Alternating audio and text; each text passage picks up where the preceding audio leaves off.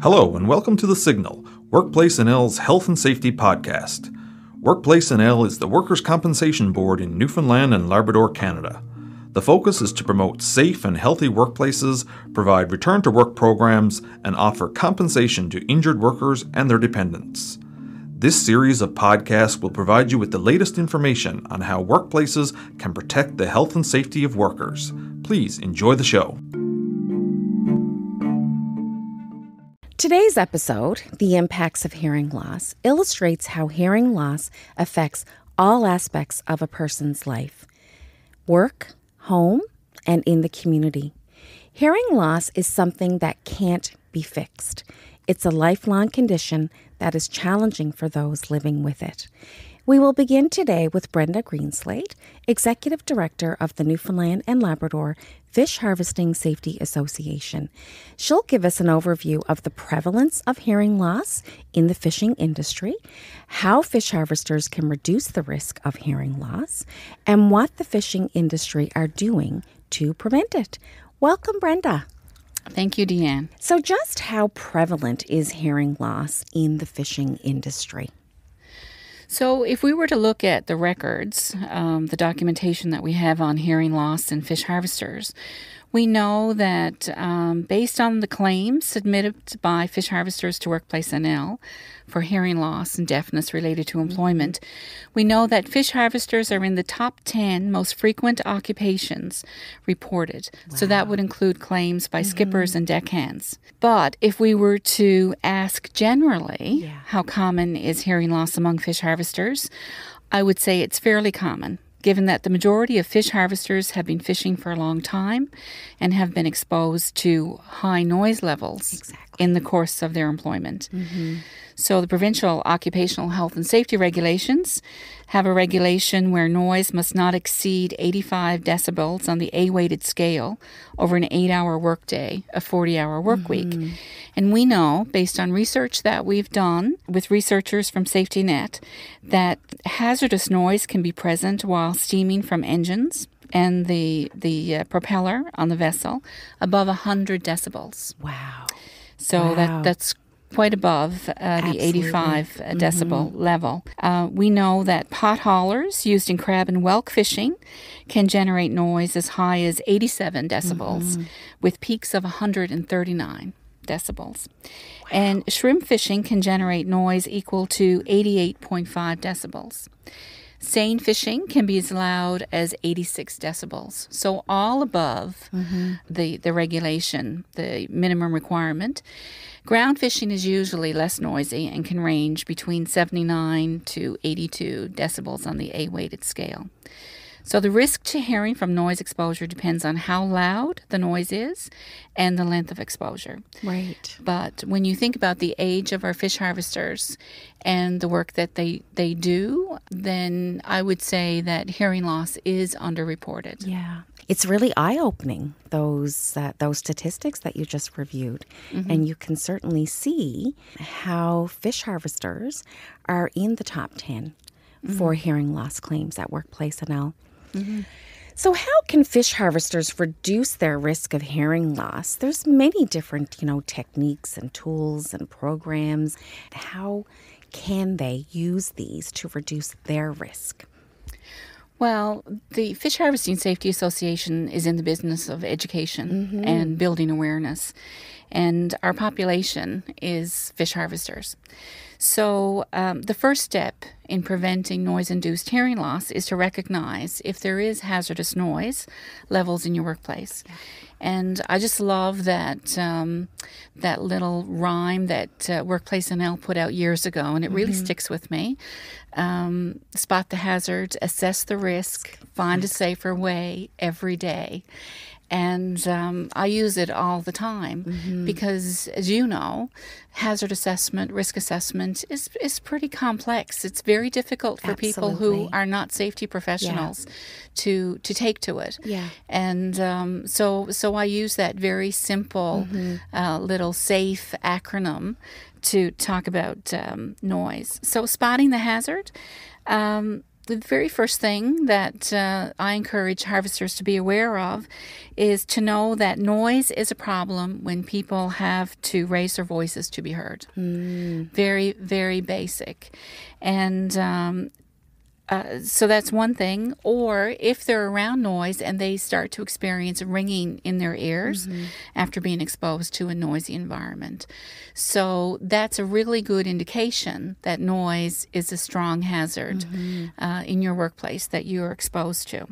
Uh, the, so that's the first clue that there's a problem. But noise can change over time, so it's important to know if the volume of noise exceeds a safe level, and uh, it's important to measure the noise with a sound level meter. And um, people say, well, that's an expense, and how much does that cost? And if I hire somebody to do that, how much is it going to cost?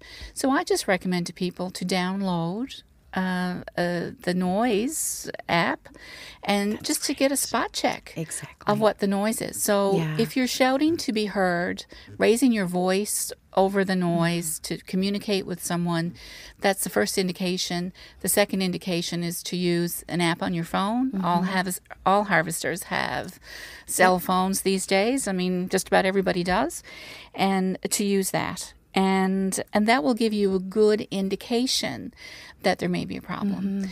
Now, to to get more into the specifics, you need to dig right. deeper exactly. and, um, and and do a greater assessment. And it may mean having a professional come in and to do those readings for you. Right.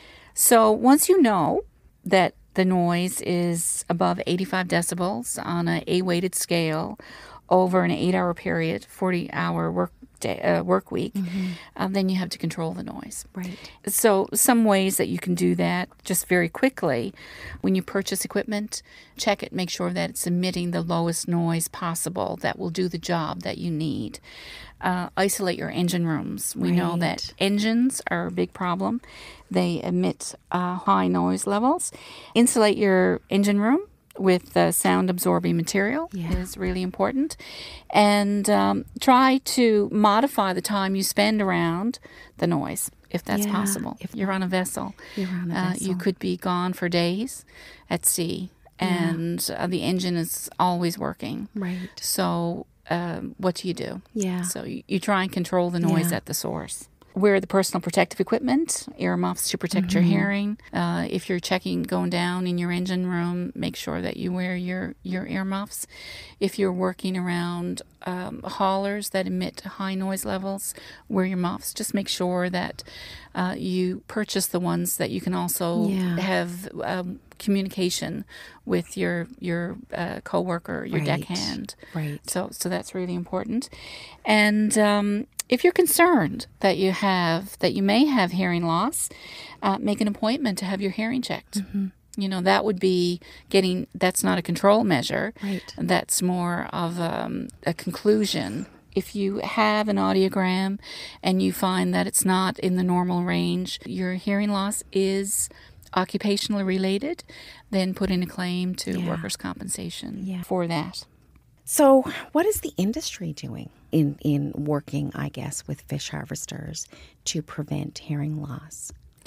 Well, I think probably one of the best things that we have done in recent years is to work with researchers mm-hmm. who are studying noise. Um, and they come from Safety Net, uh, from the engineering program at the university and uh, they have students and uh, PhD candidates who are studying noise.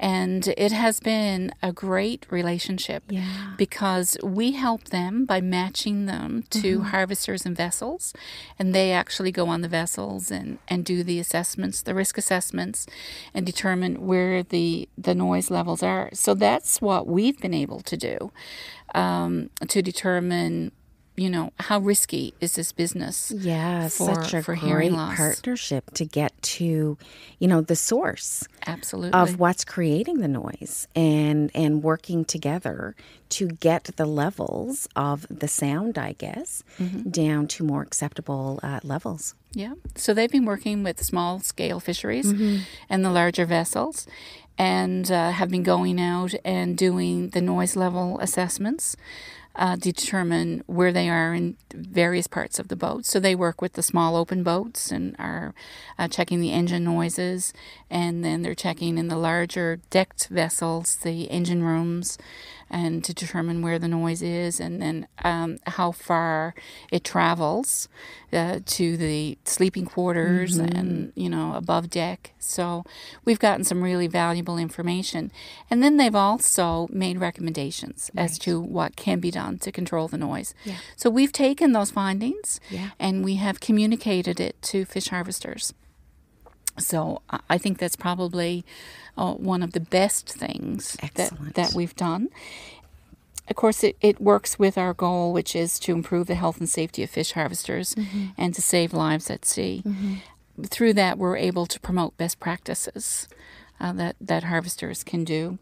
I guess the other thing that the industry is doing, and this was done through the FFAW, through mm-hmm. the union, uh, where they helped lobster uh, harvesters go from using gas powered yeah. haulers to electric powered haulers quite a reduction in the noise levels. Wow. Mm-hmm. And um, there was an incentive for um, harvesters to, to go with the electric. And I've been out on the wharfs and I see harvesters uh, demonstrating mm-hmm. their electric haulers and talking about the difference between an electric and a gas powered and uh, just how quiet it is. And of course, it eases communication. Uh, Absolutely. between crew, so for instructions. And that's right. Uh, you know, that's really important from a safety perspective as well. For sure. So, and then there's different things that are happening with regards to the type of rope and um, gear that people are using in their haulers because that reduces noise as well. Just some of the things. Yeah. Um, I'm sure there's a lot more, but those are those are the ones that come top of mind that are probably um, the most popular ones right, right now that, that we right. know about. Well, thank you very much for joining me here today. Okay, you're kindly welcome. Today I'm joined by Amy Fitzpatrick. Amy is the marketing and communications for MadeSafe NL, and Larry Pinksen. Larry is a fish harvester. Welcome to the show, Amy and Larry. Thank you, DeeAnne. Thank you. My first question is just to get a bit of a feel for Larry's background. So, Larry, can you just give us an idea as to your work history? I have been a fisherman for 47 years. Uh, I started in the summer months when I was 13, in between school. I, I worked on a small longliner for right up through the summer months until I graduated. And when I graduated in 1977, I was uh, just 16. I was after uh, fishing three years. And uh, after that, I really went fishing pretty much full time. I did leave it to go to do a mechanics uh, course in Baie Trade School, but that didn't really work out. And there's not one year in between that that I haven't fished. There's been some was less than others, especially when I was younger. But when mm-hmm. I got back into it, me and my brother got our own enterprise back in in the 80s to mid 80s, somewhere around here, and pretty much since then we're fishing full time, uh, always, and I've been uh, an active sealer at various intervals right. uh, during that time. Uh, 47 years is a long time. It's a lifetime. So we asked you to join us today uh, based on the fact that you have a hearing loss injury. Can you give us a little background about how that occurred? Uh, gradual, I would I would say, going through starting fishing when I was young. Uh, didn't really, I sort of knew it was something going on, but not totally. I think it was really, uh, really made aware of it when my uh, girls uh, started attending school and a high school, really, when in Verte, because they went to Verte, you know, uh, to attend high school. And they were noticed of being loud so the actually the teachers at the time uh, requested that they have an hearing test done. Oh. So the teachers noticed that your daughters were speaking loudly? Yes. Yes. Wow. And then they came to realize their hearing was fine. And after the question, do you have somebody in your household that's hard hearing? And that is. so, you know, and that's when uh, really made aware of it, but I still didn't do Right. a lot to protect to protect myself. So Larry, can you tell us a little bit about what it's like to be out on the boats? Like what what is the the sounds that you hear on a daily basis? The background is really a constant roar from the engine. Yeah. That that's always there. But you hear other noises if you got the fishing gear, depends on what's going on. With regards to me myself, I think that contributed to the hearing loss. Uh, when in '95, when we really got our own uh, long long liner, that I used to be right under the crab hauler all day long Right. and that crab hauler would be screeching. And even back then, we had what we would I would call the old rope, the old fashioned rope. That the ropes that are used today is made out of a, a different material and it doesn't make as much noise. So I used to be stood under that sometimes for 15, 16, 17 hours a day, uh, except for when you have a break, lunch break or whatever. The girlie was shooting out gear. But say okay, if we all six strings, you were under the hour and a half, so about eight to ten hours a day in any given day. And I know from the hearing loss that one ear is worse than the other one, right? Mm-hmm. And that one would be where I was stood stood up there all the day, that roar, constant.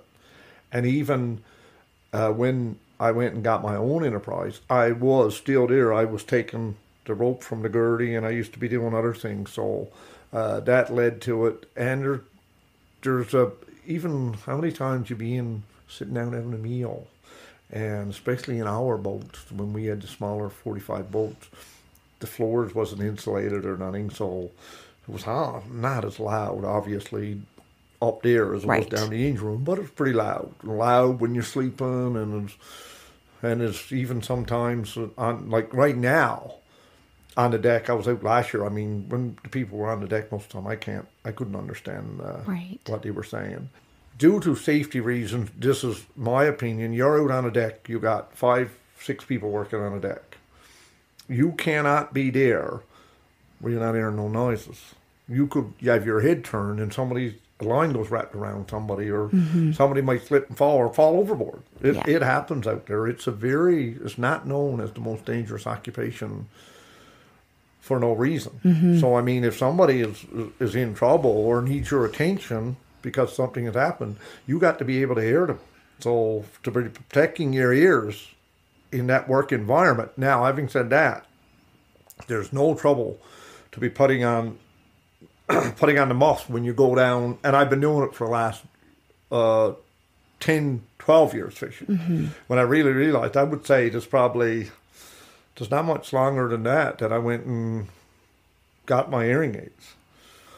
So And, uh, when you're out on the boat, there's really no getting away from noise. It's not like you work in a factory where you leave after your shift. You go home to your house where you don't have those noises around. So it's something that you're constantly exposed to when you're out on that boat. Absolutely. Mm-hmm. And I mean, over the years, there's times we'd be out two, two, two weeks a month really for sealing. You might come in and offload and gone again. I've done trips in up in OB and that's at Turbot. That's between Resolution Island and Green Bay, uh, Greenland. And you be uh, three weeks. So you're living on the boat. I like the statement you said. There's no getting away from the noise. Yeah. It's unavoidable. It's it's a part of the job description, for lack of a better explanation, in the fishing Yeah. industry. Yeah. Yeah. And you know, I, I I spoke to safety symposium there in Gander one year, and, Mm-hmm. and I emphasized to the people in the room, look, don't wait till you get to where I'm at yeah. when it's, it's too late. Yeah. So if you can do anything to minimize that damage that potentially can occur anyway, make sure you do it. And I know myself, I've been on the boat and I've told boys, don't go down the engine room, put, put your muscle on. Some do it. Yeah. A lot do it, but some more don't. well, don't Yeah. Don't And that's a part of of a hearing conservation program that is required in legislation that employers have to first identify those um, tools, equipment, um, job tasks that create that noise that might be over the recommended decibels, that they evaluate the risk then, how it, it can affect the worker, and that they choose the most reasonable and effective way to protect the worker from that hearing loss. You're you're right, hundred percent. Because if I go back to my history, I wasn't made aware. We weren't told that. Look, this is the environment you're in. There, there's there's a lot of uh, danger here for the lead to hearing loss. Yeah. I didn't know nothing about that. Didn't know it until it actually happened because we weren't educated. That's that's the way we are. Like uh, I can attest to it that I didn't pay a lot of eat even when I was when I knew I was having hearing loss.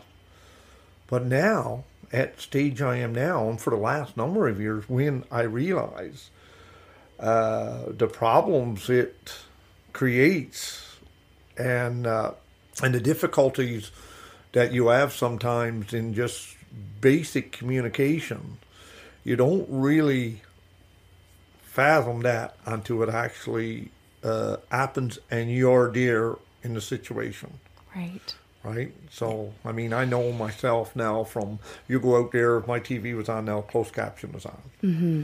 all the time for to get to get the dialogue. I haven't went. I know you can get that little thing, but I haven't went to a movie in a theater in years because it's so difficult to get Right. to get the the dialogue right.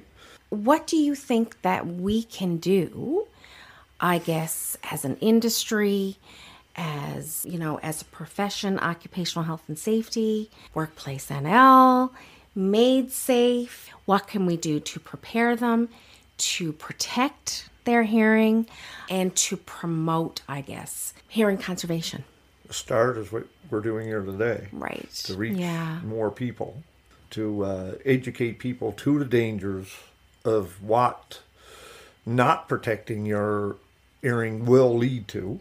And I'm a perfect example of that. Uh, is is there anything done on the boats? Look, this is the noises that you encounter. This is the decibels. Do you realize what you're exposing yourself to, and what you're going to uh, lead to uh, potentially lead to down the road.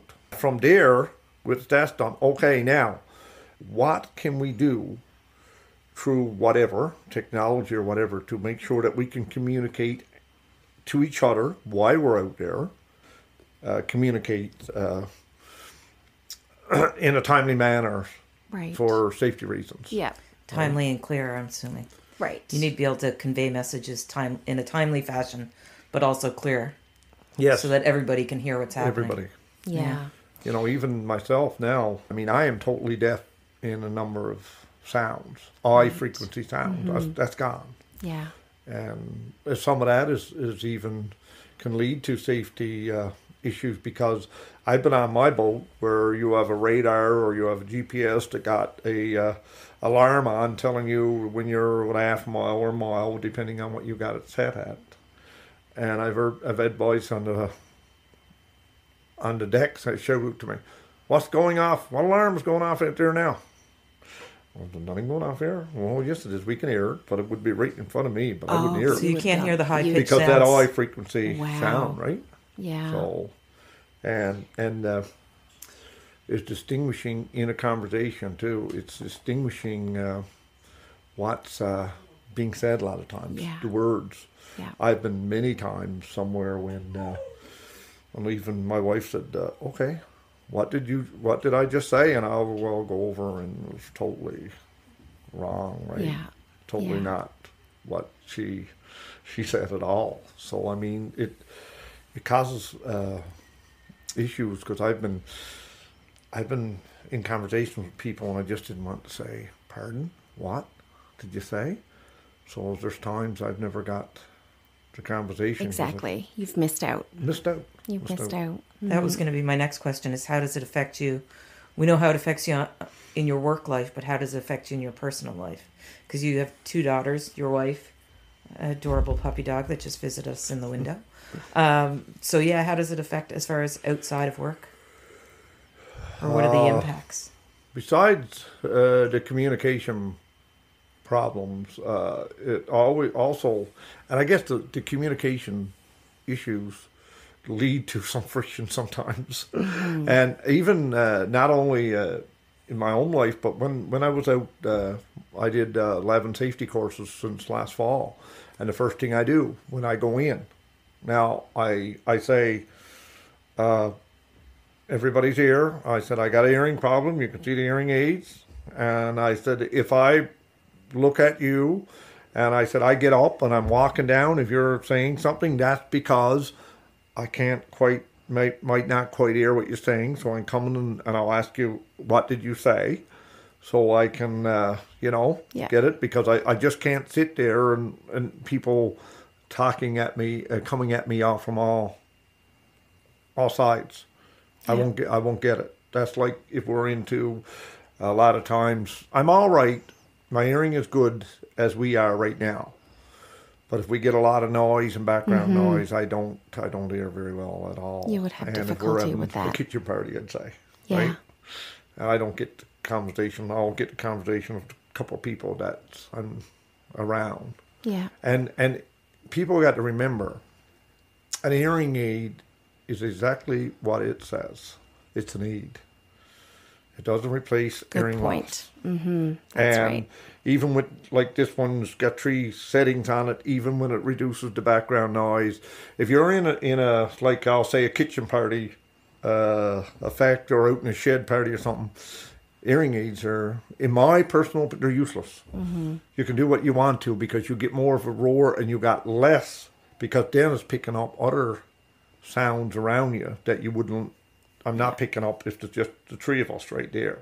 Yeah. So I don't even wear them when I'm going in that environment. So in an environment like that, does it almost muddle all the sound into Uh, one big roar? Absolutely. You can't hardly decipher anything, even if there's somebody up in your ear. Like I, I've did it, and sometimes I've went somewhere and I just had to take them out and put them in my pocket, right? So and and it leads to, uh, dare I say, uh, frictions in a marriage because uh, communication. And there's times like uh, my wife has to because she might be somewhere and she just talks loud to me and she got it because I'm somewhere and she's used to talking loud to me. Then there's times I'm right alongside of her Yeah. and she's almost like a shouting to me then and you don't have to shout. And Yeah. say, I'm right here next to you. yeah, and yeah. then she'll say, I got to shout at you, Yeah. right? Yeah. And it's just nothing intentional. But uh, so how many times have I said to Brenda, it's very frustrating to you. So can you imagine how frustrating it is to me? Mm-hmm. Right? How, frust- how frustrating it is to me because I'm the one with the hearing loss.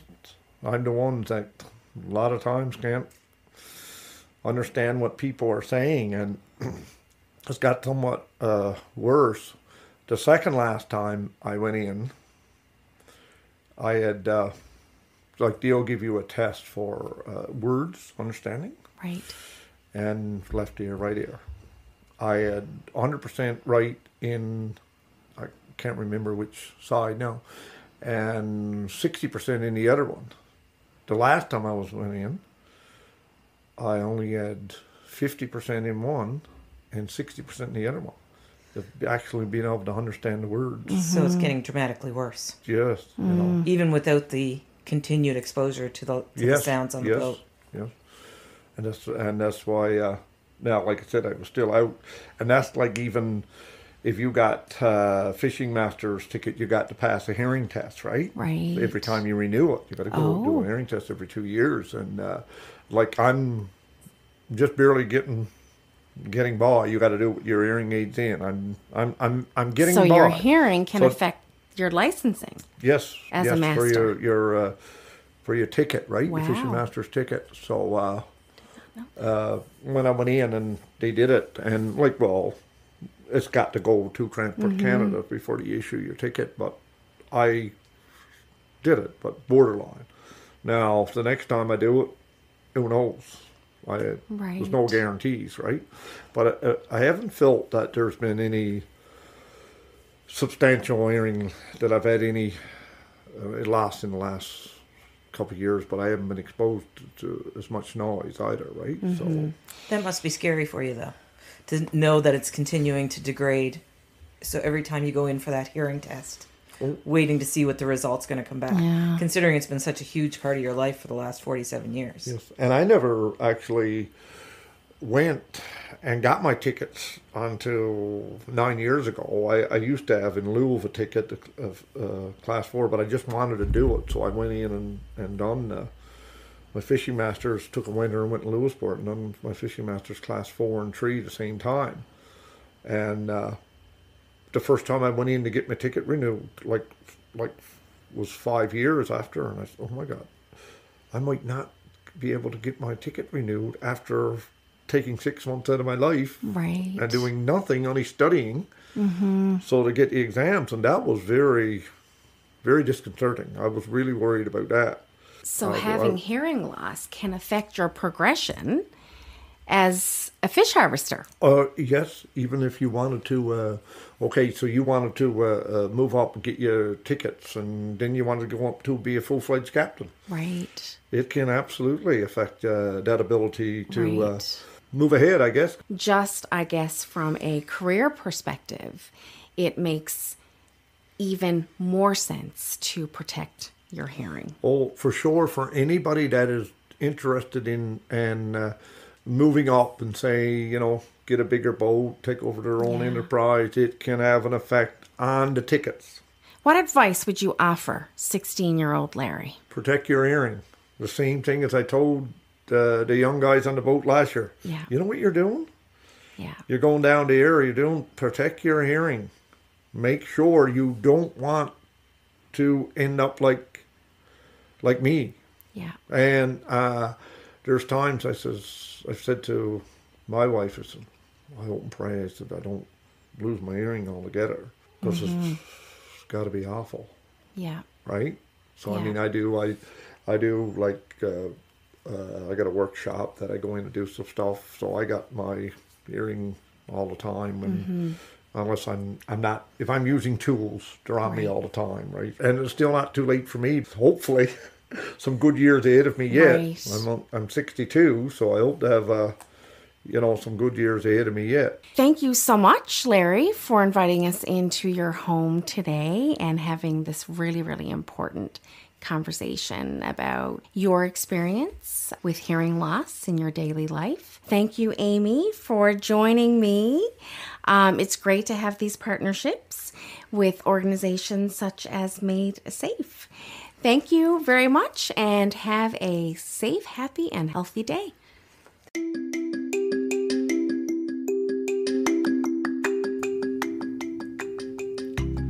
Thank you for joining us today.